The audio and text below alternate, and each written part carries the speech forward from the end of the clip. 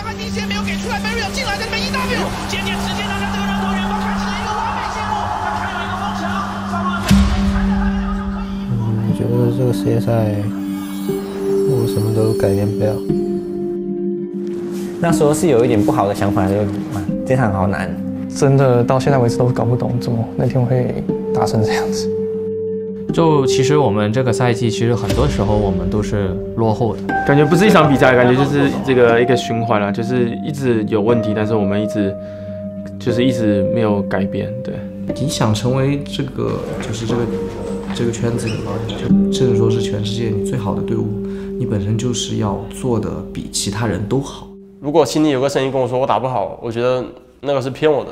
就是面对困难嘛，就要更要勇往直前嘛。兄弟们，我们今天心在一块，好吧？我说了，今天就是检验我们整个一年的成果啊。然后赢拿得起，输放得下，好吧？来，我们准备三二一，集中向上，好吧？来，三二一，集中！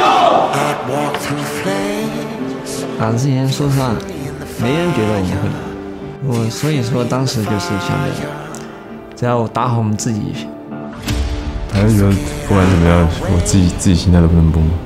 我觉得这是对我来说，自己是一种成长。加油！只有通过比赛的胜利，才能得到检验。就是大家心是一样的，有那股有那股劲儿，大家都憋着一股劲儿，这股劲儿很重要。因为我的话就是赢赢了比赛才会开心。我肯定是比较不开心的，我觉得大家都不看好我们。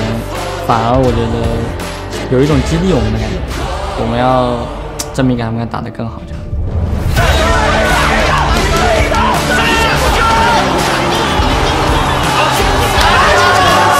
就大家愿望是一样的，啊，就是 EDG 想重新崛起。来，三二一，集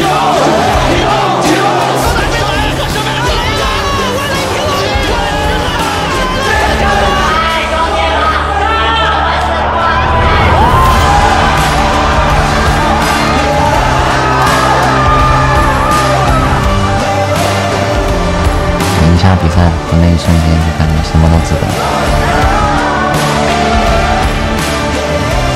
就是有一点得偿所愿的感觉。